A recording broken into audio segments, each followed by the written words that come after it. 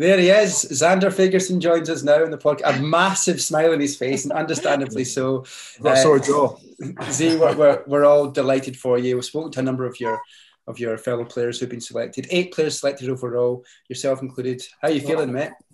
Yeah, I'm absolutely buzzing. Um, it's sort of it's start, starting to sink in now. Um, I think when, when, I was with the boys, it was just sort of surreal. Um, just getting, I was getting slapped all over and stuff. So um, yeah, just doing the doing the media and stuff sort of sank in. And, yeah, just such a special day for me and the family. Um, so I think when I see them, it'll really hit home. So did you watch the announcement live at lunch with the rest of the squad? Yeah, I wasn't like Ali. I wasn't. Ali. Um, I sort of said, you know, humble victory, humble defeat. So, yeah, team man. Whatever happens, it's a free lunch, so I'll be here.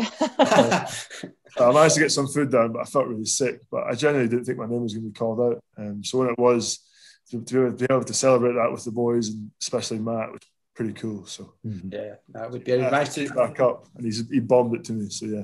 Oh, nice.